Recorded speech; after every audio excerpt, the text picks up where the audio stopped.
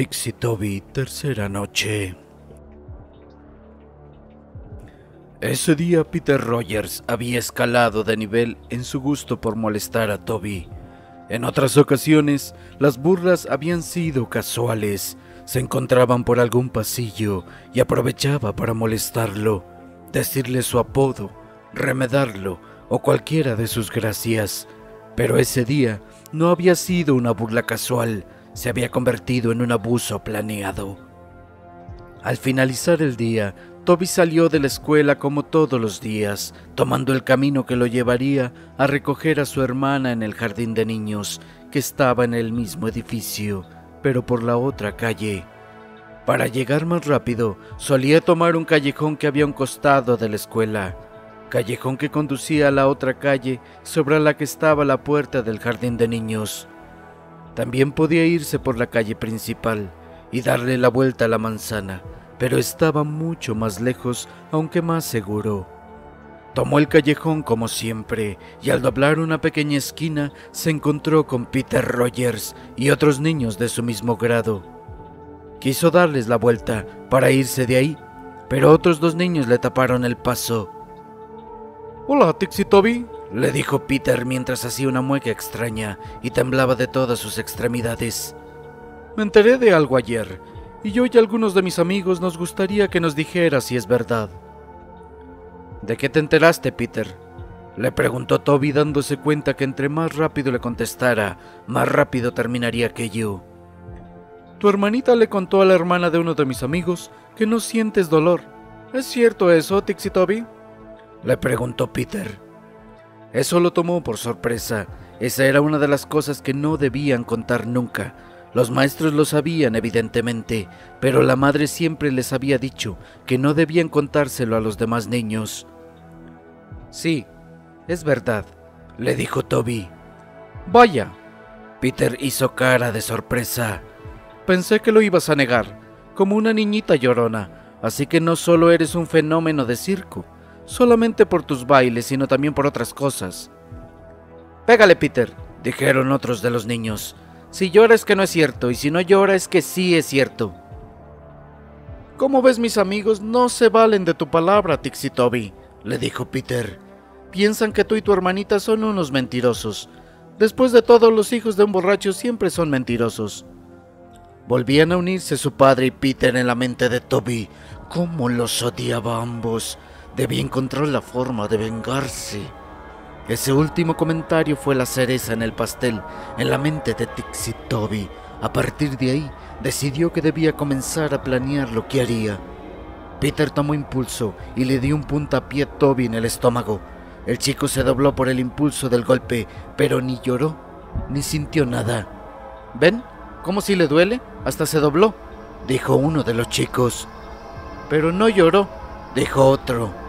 Quizás no le dolió. Hay que darle más fuerte para estar seguros, dijo otro de los chicos con un tubo de metal que había encontrado en el callejón en la mano. Peter tomó el tubo y le dio un ligero golpe a Toby en una pierna. El chico no se inmutó. Hay que darle más fuerte, dijo uno de los chicos arrebatándole el tubo a Peter. A Toby no le dolió el golpe en la cabeza, pero aún así su cerebro funcionaba igual que el del resto. Una luz blanca apareció de pronto y luego todo fue oscuridad, casi de la misma forma en que se apaga un televisor viejo. Poco antes de irse la luz, Toby alcanzó a ver en una de las zonas más oscuras del callejón a su nuevo amigo de rostro pálido, parado, observando la escena con su rostro ladeado, desprovisto de cualquier facción. Lo siguiente que Toby supo es que estaba despertando en el mismo callejón, pero la luz había cambiado y las sombras estaban en otra posición. Observó en su reloj que era la una de la tarde y tenía que haber recogido a su hermana a las doce. Se levantó como pudo y corrió al jardín de niños, encontrándolo cerrado. Una maestra tenía de la mano a su hermana mientras el chico llegaba pidiendo disculpas. La mujer no le respondió, lo miraba aterrorizada. ¿Estás bien, Toby? le dijo. Tienes sangre en tu cabeza. Perdón por la tardanza, volvió a decir Toby mientras se tocaba la cabeza sintiendo el chichón y un poco de sangre. Me caí mientras venía hacia acá y me golpeé en la cabeza. Me dio otro de esos ataques, mintió Toby. Iba a regañarte porque tengo dos horas esperándote aquí. Ni tu hermana ni yo podemos ir a casa por esperarte, pero ahora que te veo se me han pasado las ganas de llamarte la atención. Le dijo, ¿estás bien? Sí, señora, le contestó Toby que todavía sentía que la cabeza le daba vueltas y una extraña sensación de presión en su cráneo, aunque nada de dolor. ¿Estás seguro? Puedo llevarlos en mi auto a tu casa, insistió la maestra. Estamos bien, mintió Toby mientras tomaba a su hermana de la mano para llevársela a casa. Ya en su hogar, Toby se lavó bien la cabeza y tomó algunas pastillas para desinflamar por primera vez en su vida. Todo esto para que su mamá no notara lo que había pasado. Fue muy efectivo. La madre no se dio cuenta de nada. Aquella noche el padre llegó temprano nuevamente y fue él quien llevó a los niños a acostar. Toby fingía estar bien con él, pero por dentro sabía que tenía que hacerle algo. Pero su mente estaba concentrada en planear lo que le haría a Peter Rogers.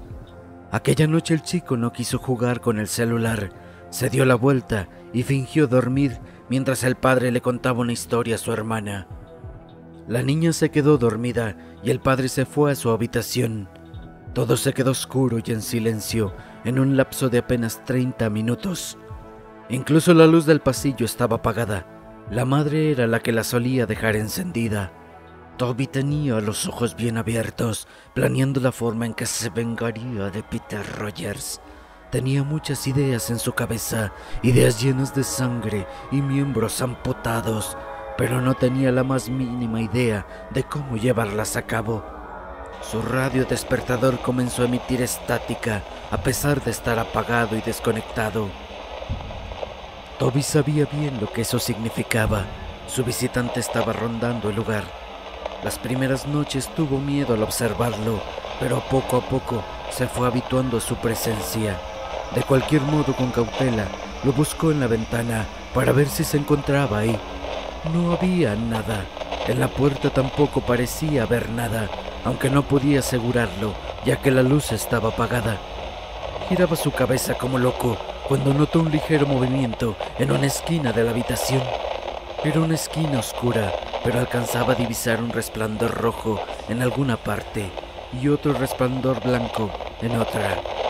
El extraño ser dio un ligero paso hacia adelante, poniéndose en un lugar donde la luz de la ventana iluminaba un poco y pudo verlo mejor. El ser también lo miraba a él, con la cabeza ladeada, y estiró una mano señalando a un lugar indeterminado de la habitación. El chico siguió con su mirada el dedo de Slenderman. Por alguna razón sabía que se llamaba así, aunque el ser nunca se lo dijo. Siguió con la mirada el dedo de la extraña criatura y su vista se clavó en una hacha de plástico que había sobre su buró.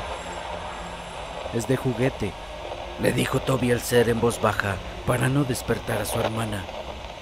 El extraño monstruo asintió con la cabeza y en un movimiento brusco apuntó hacia la ventana.